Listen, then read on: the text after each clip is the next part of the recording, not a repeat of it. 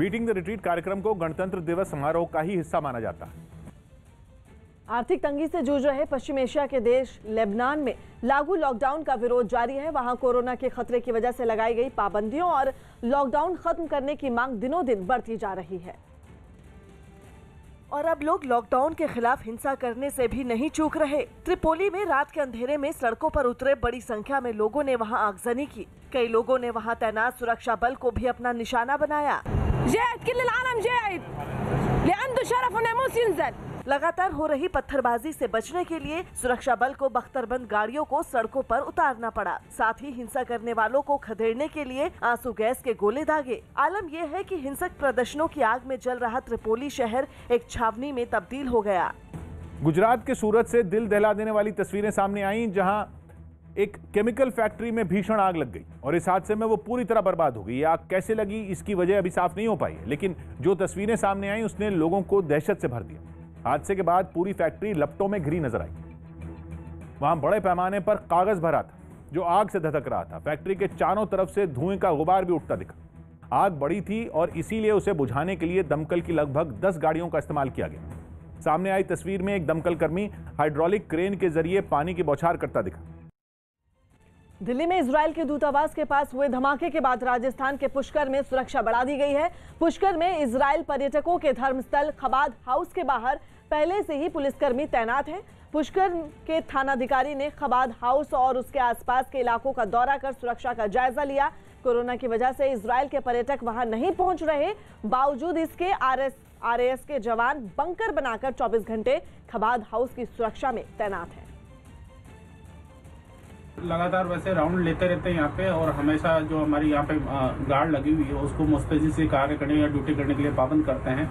Guard अच्छा काम कर रही है और हम जैसे उच्च अधिकारियों के दिशा निर्देश और आदेश मिले हैं, उनके अनुसार हम सभी होटल ढाबे और पुष्कर में जो भी इसराइली रुके हुए उनसे पर्सनल मिलकर उनको अवेयर रहने के लिए बताएँगे और लगातार हम राउंड ले रहे हैं। ऐसी ऐसी कोई संभावना नहीं है कि यहाँ पे कुछ अनहोनी हो। दक्षिण अमेरिकी देश पेरू में कोरोना के फिर सिर उठाने के बाद वहाँ दोबारा लॉकडाउन लगाने का फैसला किया गया तो लोग बागी हो गए। उन्होंने सरकार के खिलाफ ही मोर्चा खोल दिया। पेरू की राजधानी लीमा और नौ दूसरे इलाकों में 31 जनवरी से दो हफ़्ते का लॉकडाउन लगाने का ऐलान किया गया है। लेकिन लोगों को यह मंजूर नहीं इसलिए वो सड़कों पर उतर आए और सरकार के फरमान के खिलाफ ज़ोर ज़ोर से नारे लगाने लगे।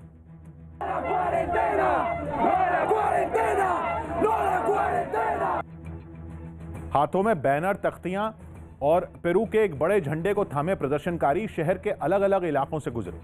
कुछ लोग तो अपने बच्चों तक को प्रदर्शन में लेकर पहुँचे। Son 15 días que no vamos a trabajar, 15 días que no vamos a tener ingresos. असल में कोरोना के मामले बढ़ने की वजह से पेरू में अस्पतालों की हालत खराब हो चुकी है। ऐसे में उनका बोझ कम करने के लिए सरकार ने दोबारा सख्त लॉकडाउन लगाने का फैसला किया लेकिन लोगों का गुस्सा इस बात पर फूटा कि पिछली बार जब लॉकडाउन लगा था तो उनके खाने के लाले पड़ गए। वो उससे ही अभी तक उबर नहीं पाए कि दूसरे लॉकडाउन का ऐलान कर दिया गया। लोगों का तो यहाँ तक कहना है कि कोरोना तो उन्हें बाद में मारेगा, लेकिन उससे पहले लॉकडाउन उन्हें भुखमरी के कगार पर पहुँचा देगा। एक फरवरी को बजट पेश होना है। उससे पहले आज प्रधानमंत्री मोदी सभी दलों के साथ बैठक करेंगे। प्रधानमंत्री मोदी सुबह साढ़े ग्यारह बजे वीडियो कॉन्फ्रेंसिंग से बैठक को संबोधित करेंगे। तो वहीं इस बैठक के बाद एनडीए के सहयोगी दलों की बैठक भी होगी। दोपहर साढ़े तीन बजे एनडीए के दलों की होने वाली इस बैठक में प्रधानमंत्री मोदी भी मौजूद रहेंगे। लंबे इंतज़ार के बाद मुंबई में अगले महीने से सभी लोग लोकल ट्रेनों में सफ़र कर सकेंगे। न्यूज़ 18 के दिवाकर सिंह की रिपोर्ट है कि एक फरवरी से मुंबई की लोकल ट्रेनों में आम लोग भी कुछ पाबंदियों के साथ यात्रा कर सकेंगे। हालाँकि पहले की तरह दिन के किसी भी वक्त आम लोगों को लोकल ट्रेनों में सफ़र करने की इजाज़त नहीं मिलेगी। रेल मंत्री पीयूष गोयल ने ट्वीट के ज़रिए जानकारी दी कि दिन की पहली ट्रेन से सुबह सात बजे तक आम लोग लोकल ट्रेनों में सफ़र कर पाएँगे। उसके बाद दोपहर 12 से शाम 4 बजे तक आम लोग लोकल ट्रेनों से एक जगह से दूसरी जगह जा सकेंगे। और फिर रात 9 बजे से आखिरी के ट्रेन पर, पटरियों पर दौड़ने तक वो लोकल ट्रेनों में सफ़र की सुविधा का लुत्फ उठा सकेंगे। बाकी वक्त लोकल ट्रेनें केवल ज़रूरी सेवाओं से जुड़े लोगों के लिए ही चलाई जाएँगी। सफ़र के दौरान लोगों को कोरोना के नियमों का ध्यान रखना ज़रूरी होगा। सौरभ गांगुली की तबीयत अब पहले से बेहतर है। कोलकाता के अपोलो अस्पताल में भर्ती सौरभ गांगुली की तबीयत में सुधार हो रहा है और वो क्रिटिकल केयर यूनिट से बाहर आ गए। हालाँकि अस्पताल में अब भी उनका इलाज जारी रहेगा। दो दिन पहले उन्हें सीने में तकलीफ़ के बाद वहाँ भर्ती करवाया गया था। बजट सत्र पर लोकसभा अध्यक्ष ओम बिरला ने सभी दलों के साथ एक बैठक की। इस बैठक के बाद ओम बिरला ने बताया कि सभी दलों ने सदन की कार्यवाही में सहयोग करने की बात कही है। सुप्रीम कोर्ट ने आगरा में ताजमहल के पास के 4000 पेड़ों को शर्तों के साथ काटने की मंजूरी दे दी। ये पेड़ मथुरा से झांसी तक रेल लाइन बिछाने के लिए काटे जाएँगे। Syed Mushtaq Ali T twenty trophy में तमिलनाडु की टीम फाइनल में पहुँच गई। उसने पहले सेमीफाइनल मैच में राजस्थान को सात विकेट से हरा दिया। दिल्ली में इजरायली दूतावास के पास ब्लास्ट के बाद सुरक्षा एजेंसियाँ अलर्ट हो गई हैं। धमाके के बाद अयोध्या समेत पूरे उत्तर प्रदेश में अलर्ट जारी किया गया है। महाकुंभ को देखते हुए हरिद्वार में भी अलर्ट जारी किया गया है। योगी आदित्यनाथ ने प्रदेश में सतर्कता बरतने के आदेश दिए। योगी ने सभी जिलाधिकारियों, वरिष्ठ पुलिस अधीक्षकों और पुलिस आयुक्तों को अपने अपने ज़िले के प्रमुख स्थानों, धार्मिक स्थलों और पूरी संवेदनशील जगहों पर नज़र रखने के निर्देश दिए हैं और इसके साथ ही पुलिस को गश्त बढ़ाने के निर्देश भी दिए गए हैं। पश्चिम बंगाल के बीरभूम से हैरान कर देने वाली तस्वीरें सामने आई। जहाँ किसी बात पर विवाद के बाद दो गाँवों के लोग सड़कों पर उतर आए और जमकर तोड़फोड़ की। बताया गया कि इस झड़प में चार लोग घायल भी हो गए और जो वीडियो सामने आया उसमें सड़क पर जगह जगह आगजनी होती दिखी। वीडियो में साफ़ दिखा कि सड़क पर टायर जल रहे थे और लोगों की भीड़ वहाँ मजमा लगाई थी और इन सब में सबसे ज़्यादा मुसीबत सड़क से गुजर रहे लोगों को उठानी पड़ी, क्योंकि सड़क पर आगजनी की वजह से वहाँ लंबा जैम लग गया और लोग कई घंटों तक फंसे रहे। यह हंगामा काफ़ी देर तक चलता रहा, जिसके बाद पुलिस वहाँ पहुँची और हालात काबू में किए गए। मुंबई वालों को बहुत जल्द दो नए रूटों पर मेट्रो की सुविधा मिल सकती है। मुंबई मेट्रो के लिए देश में ही बने कोच मुंबई पहुँच चुके हैं, जिनका महाराष्ट्र के मुख्यमंत्री उद्धव ठाकरे ने उद्घाटन किया। खबर है कि इसी साल मई तक मुंबई के दो नए रूट पर मेट्रो की शुरुआत हो जाएगी और उन रूट पर ये मेट्रो चलाई जाएगी। पहला रूट डीएन नगर से दहिसर और दूसरा दहिसर से अंधेरी तक का होगा। मार्च तक दोनों रूट पर मेट्रो का ट्रायल भी शुरू हो जाएगा। मेट्रो के जो नए कोच मुंबई पहुँचे हैं उनकी खासियत यह है कि वो बिना ड्राइवर के पटरियों पर दौड़ेंगे। दो नए रूट शुरू होने से मुंबई की लोकल ट्रेनों में लगने वाली भीड़ में कमी आने की संभावना भी है। इसे मई महीने से शुरू किया जाएगा। कुल 35 किलोमीटर की ये मेट्रो की जो दूसरी लाइन है ये बनने जा रही है जिसका फ़ायदा करीब 13 लाख प्रवासियों को मिलेगा। लॉकडाउन के दौरान मुंबई में अपराध की घटनाओं में भारी कमी दर्ज की गई। न्यूज़ 18 की श्रेया दुबे की रिपोर्ट है कि 2019 के मुकाबले 2020 में मुंबई में अपराध की घटनाओं में सैंतालीस प्रतिशत की कमी आई। इस दौरान हत्या, चोरी और लूट समेत सभी अपराध कम हुए। और इसमें सबसे ज़्यादा गिरावट लॉकडाउन के शुरुआती महीनों, यानी 2019 के अप्रैल और मई महीने में दर्ज की गई। इसकी सबसे बड़ी वजह थी लॉकडाउन के दौरान लोगों का घर पर मौजूद रहना। हालाँकि लॉकडाउन तोड़ने का अपराध मुंबई के लोगों ने खूब किया। और कुल इक्यावन हज़ार अपराध की घटनाओं में लॉकडाउन तोड़ने के उनतीस हज़ार मामले सामने आए। ये आंकड़े मुंबई पुलिस की ओर से जारी किए गए। राजस्थान के अजमेर में एक पेट्रोल पंप में आग लगने से दो लोगों की मौत हो गई, जबकि कई लोग घायल हो गए। आग कैसे लगी, इसकी जानकारी सामने नहीं आई, लेकिन वहाँ से जो तस्वीरें सामने आई, उसमें पेट्रोल पंप से तेज लपटे उठती हुई दिखाई दी। पेट्रोल पंप में उस वक्त काफ़ी मात्रा में डीजल और पेट्रोल रखा हुआ था। ऐसे में वहाँ आग लगते ही सबके हाथ पैर फूल गए। आनंद फानन में दमकल की कई गाड़ियाँ वहाँ पहुँची और आग बुझाने की कोशिश शुरू की। इस घटना में दो लोगों की मौत हो गई, जबकि कई लोग बुरी तरह से झुलस गए, जिन्हें अस्पताल में भर्ती करवाया गया। राजस्थान के अजमेर में एक पेट्रोल पंप में आग लगने से दो लोगों की मौत हो गई, जबकि कई लोग घायल हो गए। आग कैसे लगी, इसकी जानकारी सामने नहीं आई, लेकिन वहाँ से जो तस्वीरें सामने आई, उनमें पेट्रोल पंप से तेज लपटें उठती दिखाई दी। पेट्रोल पंप पे उस वक्त काफ़ी मात्रा में डीजल और पेट्रोल रखा था। ऐसे में वहाँ आग लगते ही सबसे, सबके हाथ पैर फूल गए। माफ़ कीजिएगा, सबके हाथ पैर फूल गए। आनंद फानन में दमकल की गाड़ियाँ वहाँ पहुँची और आग बुझाने की कोशिश शुरू की। इस घटना में दो लोगों की मौत हो गई, जबकि कई लोग बुरी तरह झुलस गए, जिन्हें अस्पताल में भर्ती कराया गया। थाईलैंड के को फैगन में कोरोना नियमों को तोड़कर पार्टी करने के लिए करीब 90 विदेशियों को गिरफ़्तार कर लिया गया। पुलिस को एक बार में हो रही इस पार्टी की खुफिया जानकारी मिली थी, जिसके बाद उन्होंने छापा मारा और वहाँ से सभी लोगों को पकड़कर पुलिस स्टेशन ले आई। आरोप है कि बार में सभी लोग कोरोना नियमों को तोड़कर पार्टी कर रहे थे। सामने आए वीडियो में वो सभी नाच गाने और नशे में डूबे दिखे। उन्होंने नाम के लिए मुँह पर मास्क ज़रूर लगाया था, लेकिन उनके बीच बिल्कुल भी सोशल डिस्टेंसिंग नहीं थी। हालाँकि पुलिस के हत्या चढ़ने के बाद उन लोगों ने अपनी गलती मानी। Nobody wants to make, have a problem or do something wrong. I think we all love black.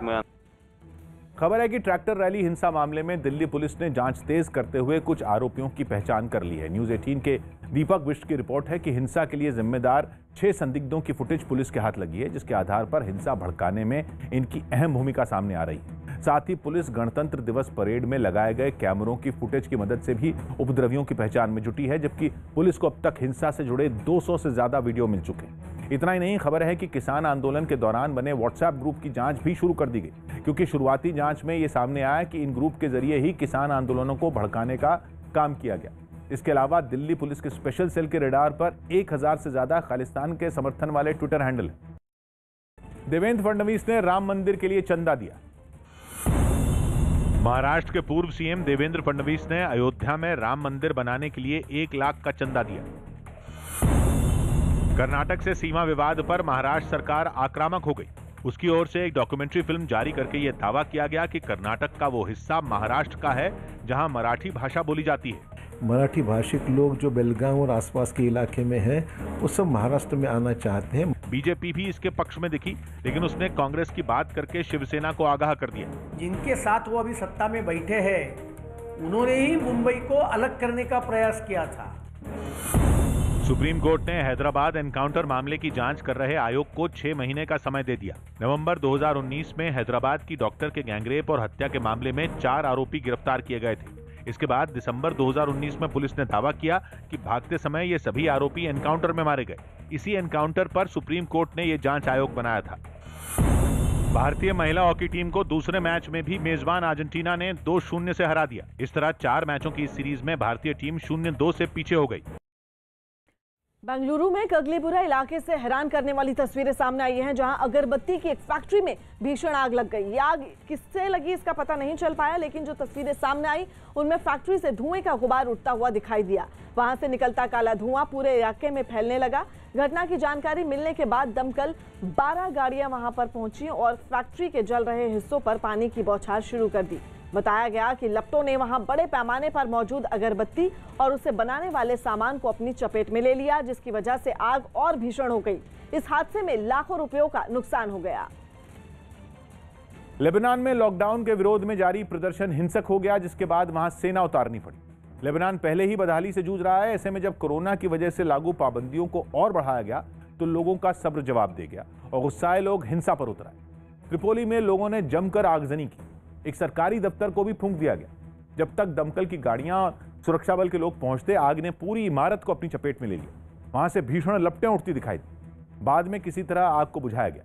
हिंसा पर उतारू प्रदर्शनकारियों को जब रोकने की कोशिश की गई तो वो और भड़क गए। सुरक्षा बल पर पथराव शुरू कर दिया।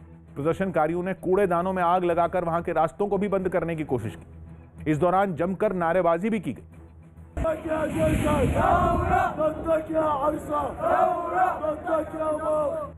सुरक्षा बल ने भीड़ को खदेड़ने के लिए जमकर आँसू गैस के गोले दागे, लेकिन हालात इतने खराब हो गए कि आखिरकार सेना को उतरना पड़ा। सामने आई तस्वीरों में सेना की कई बख्तरबंद गाड़ियाँ शहर के चक्कर लगाती नज़र आईं। पश्चिम बंगाल के दार्जिलिंग से दहशत से भर देने वाली तस्वीरें सामने आई है, जहाँ तेल से लदे एक टैंकर और कंटेनर में टक्कर के बाद आग लग गई और इसमें एक आदमी की मौत हो गई। बताया गया कि हादसे से पहले दोनों ही गाड़ियों की रफ्तार काफ़ी तेज थी और जो तस्वीरें सामने आई, उनमें तेल का टैंकर तो आग के गोले में तब्दील नज़र आया। उन दोनों से ही तेज लपटे उठती हुई दिखाई दी। यह हादसा एक पुल पर हुआ, जिसकी वजह से वहाँ काफ़ी देर तक ट्रैफ़िक भी ठप रहा। बाद में पुलिस वहाँ पहुँची और गाड़ियों को हटाकर ट्रैफ़िक खुलवाया। ताइवान को हड़पने की साजिश में जुटा चीन अब उसे खुलेआम जंग की धमकी दे रहा है। ब्रिटेन के अखबार डेली एक्सप्रेस की रिपोर्ट है कि ताइवान के तेवरों से बौखलाए चीन ने उसे जंग की खुली धमकी दे डाली है। चीन के विदेश मंत्रालय ने दो टूक कहा कि ताइवान चीन का हिस्सा है और अगर वो आज़ादी की जिद पर अड़ा रहा तो इसकी कीमत जंग होगी। चीन पहले भी कई बार ताइवान को फौजी कार्रवाई पर कार्रवाई कर कब्जे की चेतावनी दे चुका है। यही नहीं, पिछले कुछ वक्त से चीन के लड़ाकू विमान लगातार ताइवान की सीमा में घुसपैठ कर रहे हैं, लेकिन चीन की इन गीदड़ भपकियों से डरने के बजाय ताइवान भी अपने, अपना दमखम दिखा रहा आज से शुरू होने वाले आमरण अनशन को समाजसेवी अन्ना हजारे ने वापस ले लिया है। किसानों के अधिकारों से जुड़ी पंद्रह मांगों पर केंद्र सरकार ने उन्हें कदम उठाने का भरोसा दिया, जिसके लिए कृषि राज्य मंत्री कैलाश चौधरी और महाराष्ट्र के पूर्व सीएम देवेंद्र फडणवीस अन्ना हजारे से मिलने पहुँचे। ये जो केंद्र सरकार ने निर्णय लिया और पंद्रह मुद्दों पर जो काम करने के लिए जो तय किया है, इसके कारण मैं कल का अनशन स्थगित किया है। गुजरात का केवड़िया रेलवे स्टेशन देश का पहला ग्रीन स्टेशन बन गया। खास बात यह कि अभी इसे बनाने का काम जारी है, जिसके इसी साल मार्च में खत्म होने की उम्मीद है और इस बीच उसे ग्रीन स्टेशन का तमगा भी मिल गया। क्योंकि इस स्टेशन पर ऐसी कई खूबियाँ हैं जो देश के दूसरे रेलवे स्टेशनों पर अभी मौजूद नहीं है, जिनमें पानी को बचाने के उपाय और सोलर प्लांट जैसी तमाम सुविधाएँ शामिल हैं। पानी का वेस्ट होगा, उसे रिसाइकल करके ट्रेनों को धुला जाएगा। उसी के आधार पर प्रोविजनल जो सर्टिफिकेट है ग्रीन स्टेशन का इसे मिला है। रेलवे ने दावा किया कि पैंसठ करोड़ की लागत से बन रहे स्टेशन का ज़्यादातर काम वक्त से पहले ही पूरा कर लिया गया। रिकॉर्ड समय में संपन्न हुआ। इंस्पाइट ऑफ़ दी इम्पेडिमेंट्स जो हमारे रास्ते में जो भी रुकावटें आई उसको ओवरकम करते हुए। इस स्टेशन की खूबसूरती में चार चाँद लगाने के लिए देश के पहले गृह मंत्री सरदार वल्लभ भाई पटेल की एक सौ बयासी मीटर ऊँची प्रतिमा स्टैच्यू ऑफ़ यूनिटी जैसी 12 फीट की एक मूर्ति भी वहाँ लगाई गई। राजस्थान के अजमेर में पेट्रोल पंप में आग लगने से दो लोगों की मौत हो गई। इस हादसे में सात लोग गंभीर रूप से झुलस गए, जिन्हें अस्पताल में भर्ती करवाया गया। अजमेर के आदर्श नगर इलाके में पेट्रोल भरते समय ये धमाका हुआ और आग लग गई। सूचना मिलते ही दमकल की गाड़ियाँ मौके पर पहुँची और आग बुझाने में जुट गई। फ़िलहाल पुलिस ने हादसे की जाँच शुरू कर दी है। अजमेर के पर्वतपुरा बाईपास में जिस तरीके से एक पेट्रोल पंप पर आग लगने से बड़ा हादसा हुआ है, उसके बाद में काफ़ी लोग इस हादसे का शिकार हुए हैं। हम इस वक्त अजमेर के जेलन अस्पताल में मौजूद है, जहाँ पर आप देख सकते हैं कि जो आपातकालीन वार्ड है, वहाँ पर जो इस हादसे में हताहत हुए थे, उनका इलाज चल रहा है। तमाम जो जिला प्रशासन के अधिकारी हैं, वो यहाँ पर पहुँच चुके हैं। जिला कलेक्टर प्रकाश राजपुरोहित हमारे साथ हैं, उनसे बात कर लेंगे। सर किस तरीके का हादसा था? किस तरीके से अब इलाज किया जा रहा है? यहाँ पर अभी नौ लोग हादसे में जो पेट्रोल पंप पे आगजनी की घटना हुई। उसमें नौ लोग में से आठ लोग यहाँ जेल में एडमिटेड हैं और सभी डॉक्टर्स यहाँ पर बेस्ट ट्रीटमेंट देने में लगे हुए हैं और सभी बर्न के केसेस में एक व्यक्ति की मृत्यु भी हुई है। पाकिस्तान के सिंध प्रांत के गवर्नर की सरकारी गाड़ी में कुत्ते के घूमने का वीडियो वायरल होने के बाद वहाँ की सियासत गर्मा गई। इस वीडियो को पाकिस्तान पीपल्स पार्टी के एक नेता ने अपने ट्विटर अकाउंट पर पोस्ट किया, जिसमें गवर्नर की सरकारी गाड़ी उनके कुत्ते को सैर कराती नज़र आई। यही नहीं, कुत्ते की सुरक्षा के लिए पुलिस की एक गाड़ी भी उसके साथ चलती दिखी। इस गाड़ी में कई हथियारबंद पुलिस वाले सवार थे। गवर्नर हाउस की गाड़ी नंबर है गाड़ी का, और ये कुत्ता बैठा है। और कुत्ते का प्रोटोकॉल भी देखें जी। इस वीडियो के सामने आते ही गवर्नर सवालों के घेरे में आ गए लेकिन खुद को घिरता देख उन्होंने इसे विपक्षियों की साजिश बता दिया। फैमिली की प्रोटेक्शन है जो गवर्नर की फैमिली को दी जाती है। और वो मेरी फैमिली के साथ पुलिस की मोबाइल चलती है जिसमें अगर अंदर कुत्ता मौजूद है तो उसका कोई इतना बड़ा इशू नहीं है। हालाँकि वीडियो बनाने वाले ने दावा किया कि गाड़ी में कुत्ते के सिवा कोई और मौजूद नहीं था और सिर्फ़ उसे घूमने के लिए ही घुमाने के लिए ही गवर्नर की सरकारी गाड़ी का इस्तेमाल किया गया।